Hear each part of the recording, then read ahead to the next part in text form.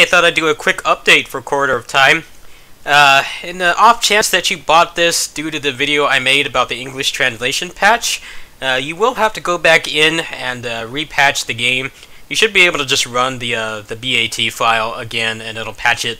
Um, I assume just the way that it works, I guess the text strings get changed or something when they update the game. They hadn't updated the game for about a month, so it was fine, but uh, when they put out this patch uh, late last night, my time. Uh, basically, everything was back in Chinese. So you'll have to do that, but everything else is working fine.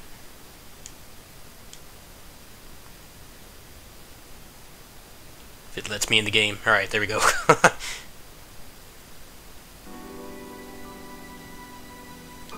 so, they added two new classes. They added the Hunter. Uh, he has some kind of backstab thing. Uh, I'm not very good at it yet, so I'm not going to bother showing him uh, honestly don't enjoy his playstyle that much, but he may just need to be leveled up more. And he added the ninja. Now, her active is uh, just a stat boost from what I've seen. But what's really juicy is when you get her to 2 stars. When you get to 2 stars, uh, she basically gets her air hike, and she just straight up has uh, aerial, not aerial rave, but uh, enemy step. so, um, when you jump like that, so when you enemy step off an enemy, uh, it will take 5 stamina, so you can't be up there forever, but this is definitely the most uh, execution-heavy uh, character in the game so far. So I've only got 2 stars right now, because I didn't even notice the ninja class. I thought this guy was the ninja. then I went up here and I had to go spend more currency on her.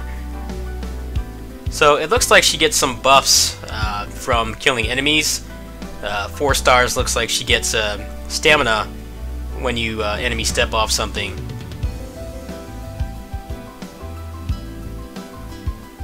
Obviously the English is not the best, but uh, we'll find out on the way.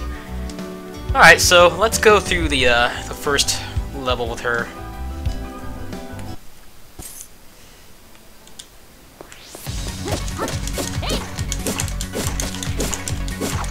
Uh, also, they added a really major change. Uh, they made it so that you could turn around in the air. Uh, you could not do that before, so the air combos felt honestly very clunky. Like, never mind the crazy enemy step combos I'm doing. It was not, it was not possible to do that before.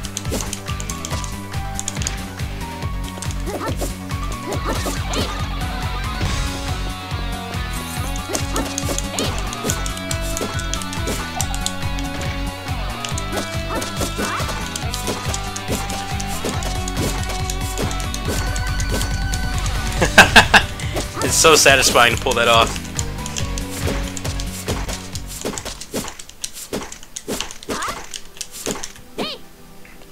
Definitely my favorite character so far. I really liked uh, Bootleg Virgil too, but I think this is going to be my next main. You can get some pretty easy uh, enemy step combos in the corner, otherwise you have to work a little bit harder at it.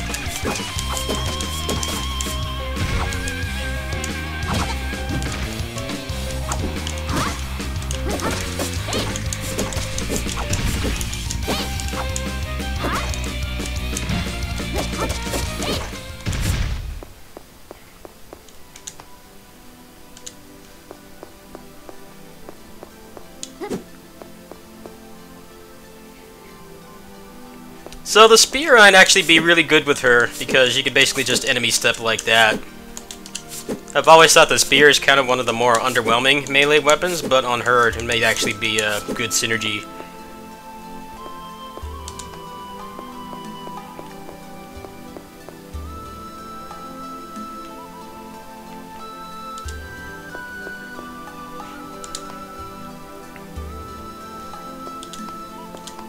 I think this update is what this game needed, honestly. Uh, I always felt it was really weird how, you know, the you look at the, the trailer for this on the Steam page and they're showing all these crazy combos, but what they don't tell you is that before this patch last night, you could not turn around in midair at all, so a lot of times you get, like, misaligned with the enemy, or you'd knock them a little bit far away and you couldn't actually continue the combo. Now that's not a problem anymore, so the game feels uh, far more responsive uh, also, all the event rooms have been massively buffed. Uh, they have a lot more options, and more ways to buff your character.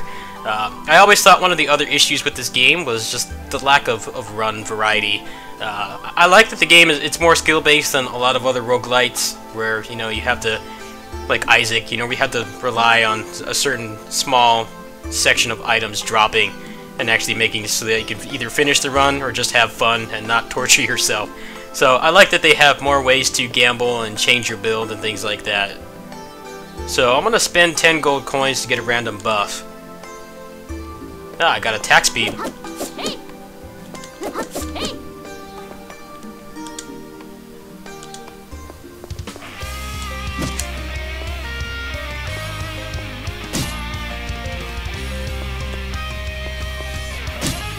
I think the next thing this game needs to add is native D-pad support. I feel like a lot of the execution errors I have are not entirely my fault because I'm I'm forced to play on the uh, forced to play on the analog stick, but maybe that's something they'll fix later on.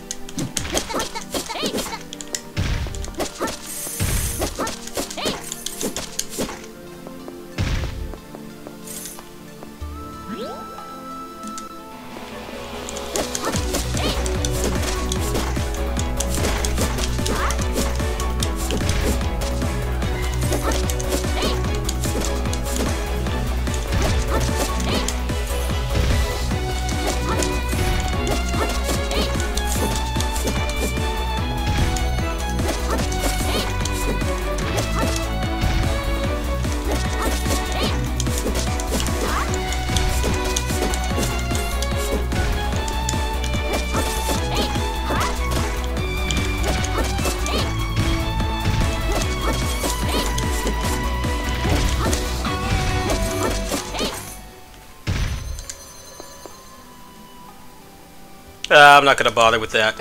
Let's just continue.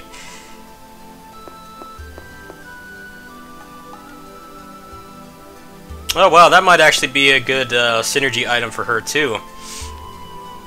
When the combo reaches A, the attack will drop 6 phantom guns, cooldown for 7 seconds. I assume that's what that means.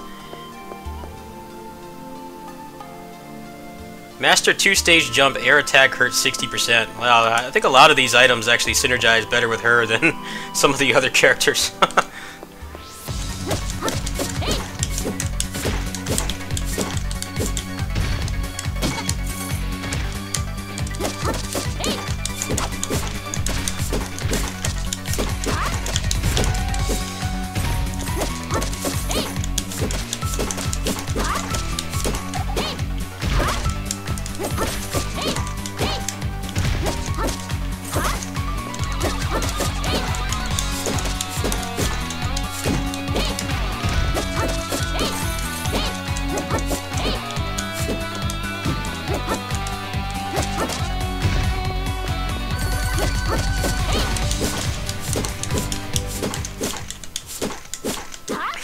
you could tell I'm having a little bit too much fun.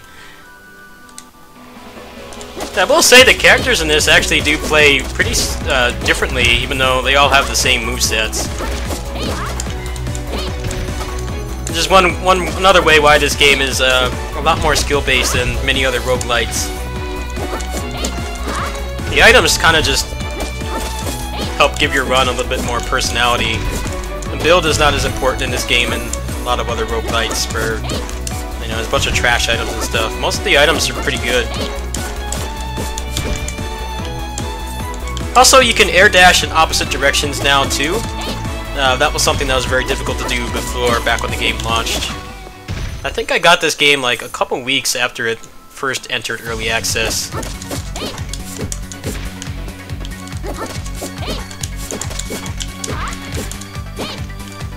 I should also say that the, the fact that the game is more skill-based than other games in the genre is why I was able to play it in full Chinese and barely being able to read anything.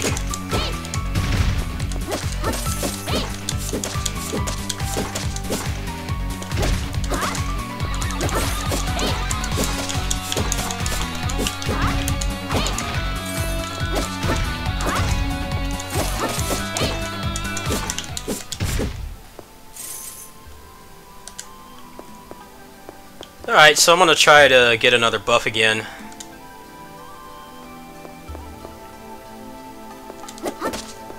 Ten percent faster movement, nice.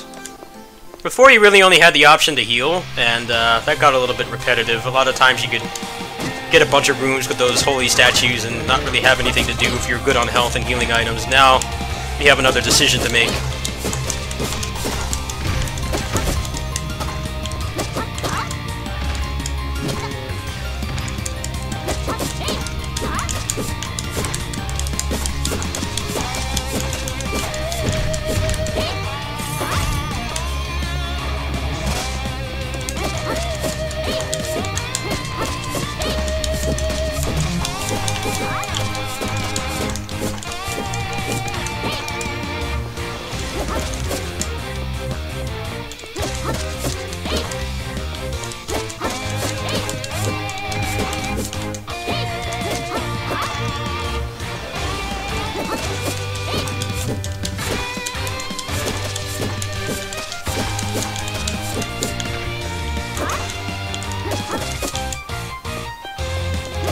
So I don't have any aerial enabled moves right now, so I have like a lot less options than I would normally, but you can kind of get the gist of uh, how it works.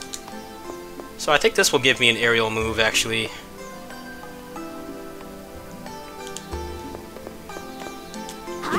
Ah, okay, I got the launcher, so I'll, I'll continue a little bit more. I'm kind of learning as I go here, because uh, this character just came out late last night.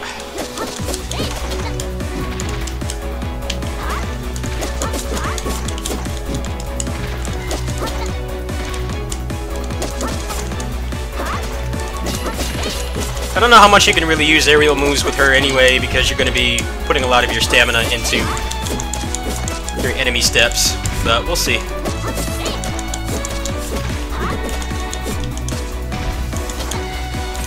I'm also not sure how much the hitboxes actually accommodate for this. we'll see.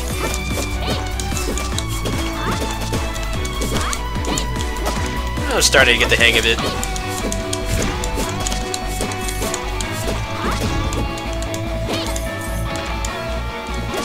Yeah, I think the spear is actually really good on her, which is kind of interesting because I usually don't bother with the spear at all. The only one I really like is this one here that has the, the aerial launcher. The other ones I don't like that much because they're so ground focused and most of your combo ability comes from being in the air. So she seems to synergize pretty well with them, which I think is pretty cool kind of a way to uh, revitalize some of the items in the game, even if they haven't actually been changed. I don't think they did any item buffs, it's mostly just uh, kind of the control and the responsibility, and then the new responsiveness, and then the, the new characters. Uh, it's just that Bushido counter. I don't even know if I want to take that.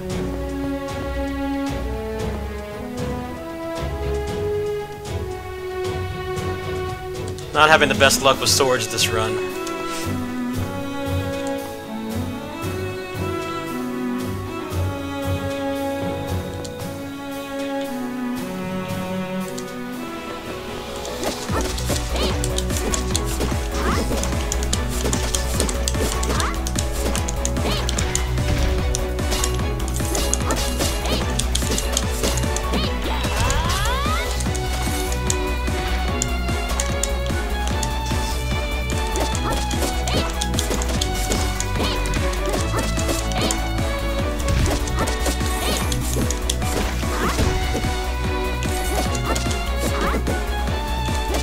That's what I was talking about right there. You see how I went past the enemy? That would happen a lot, like, during an aerial combo, and you just get completely locked out. Kind of just fall down, watch all your damage just disappear. So I'm really glad they improved that aspect of the game.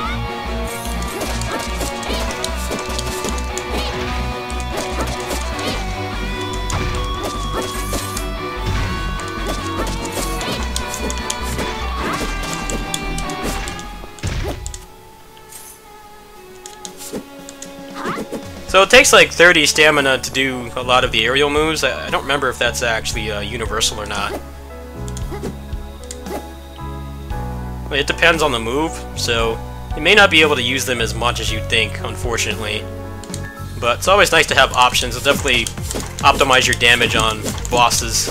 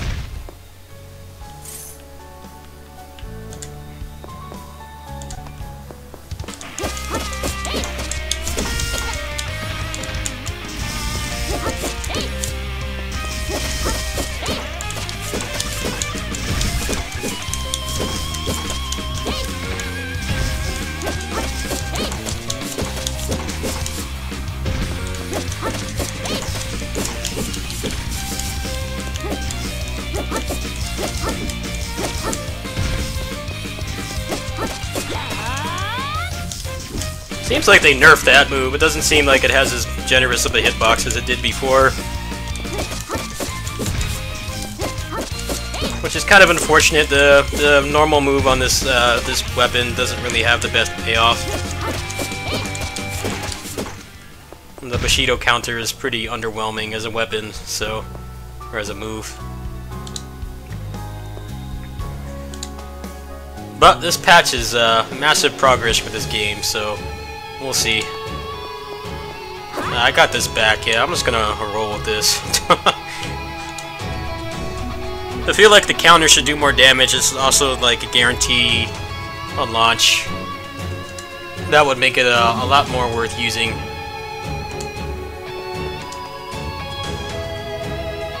Ah, the price went up. I can't get anything.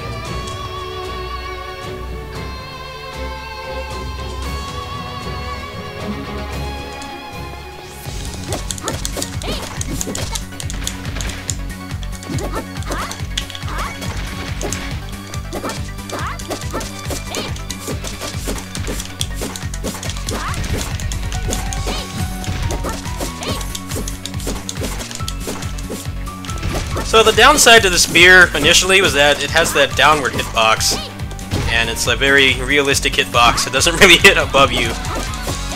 But since this character has an enemy step, it actually works quite well because you can use it to just uh, gain height and give yourself safety from the other enemies.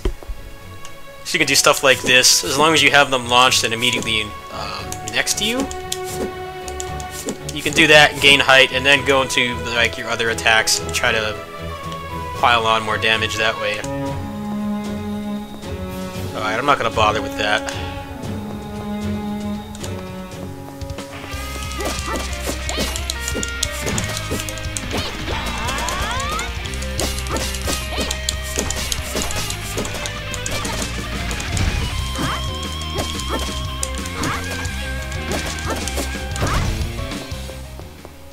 Hmm, big sword.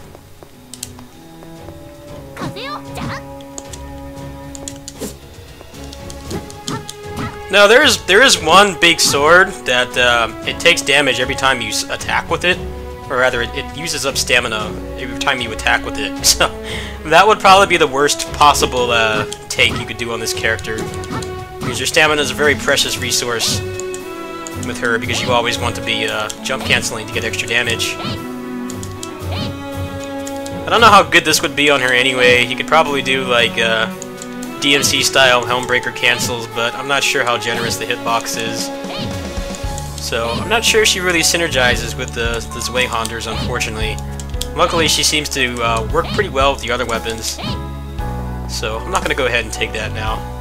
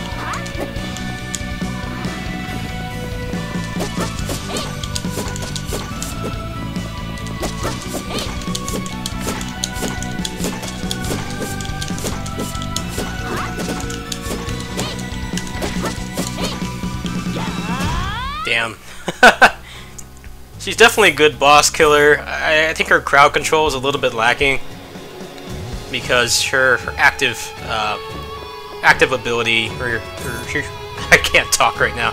Her active unique ability is basically just a stat boost. So she doesn't have things like the summon swords or the bootleg Virgil guy or the Bunshin chick who can really pile on the damage on the ground and prevent having to go into the air sometimes. But with her, she's completely aerial focused, so you need to kind of build around that. You also need to get good at the, the jump cancels as well.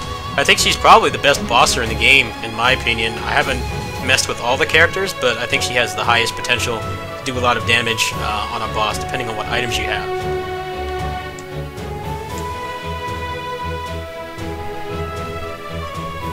Oh, the text doesn't translate here, but earlier in the run I, I picked up something that gives you more damage uh, if you use a double jump, apparently, so that's probably one of the best items with her. And I'm going to go ahead and stop there. Uh, no, not too many people are interested in this game, but uh, I'm going to go ahead and post the links in the description, both to the game itself. Uh, it is $11 on Steam right now, and there's also a link to use the Unity auto translator so that most of the text will be translated to English or uh, whatever other language you want as well. Uh, it's not just English translation, you can use it in like Japanese or I assume other languages as well. Uh, the translation is not the best, but it's enough to just get started and play the game, so I recommend it. Anyway, I'll see you guys tomorrow. Peace.